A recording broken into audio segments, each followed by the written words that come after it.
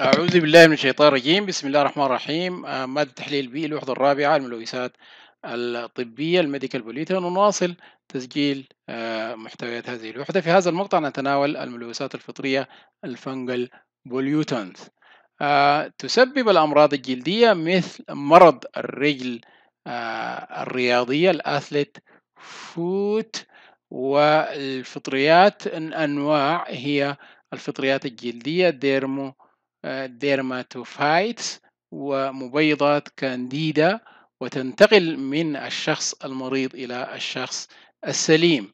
آه، وتنقسم الفطريات الطبية إلى أربع أقسام حسب الأمراض التي تسببها. أي إلى أربعة أقسام حسب الأمراض التي تسببها.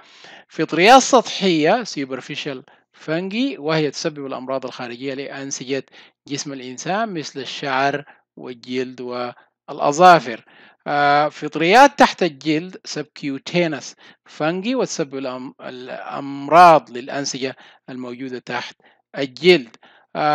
نمرة ثلاثة الفطريات الجهازية systematic fungi systematic fungi تصيب الأجهزة الداخلية للإنسان.